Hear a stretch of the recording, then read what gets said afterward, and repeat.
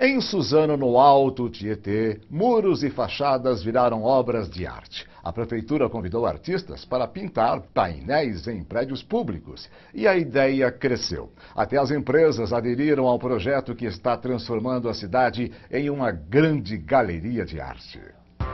O artista se apresenta.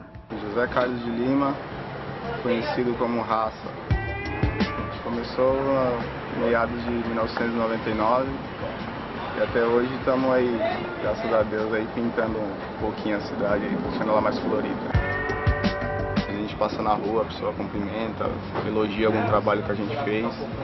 E isso pro, pro artista é, é bom pra caramba. É isso aí.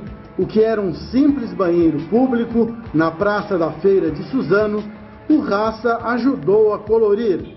O projeto Arte Pública já ganhou vários outros prédios da Prefeitura, como a Diretoria Fiscal, e acaba de ganhar a adesão da iniciativa privada.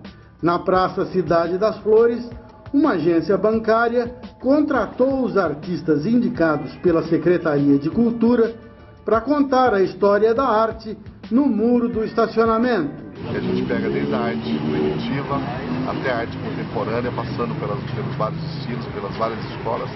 E a nossa proposta aqui, nesse caso, é que professores tragam é, os seus alunos que possam mostrar é, ao vivo a história da arte. Neste prédio em reforma, uma construtora chamou o pessoal para reproduzir fotos antigas da cidade num gigantesco painel. Nada mais gratificante para os artistas suzanenses. É muito importante para os artistas da região se destacarem, mostrar o seu trabalho.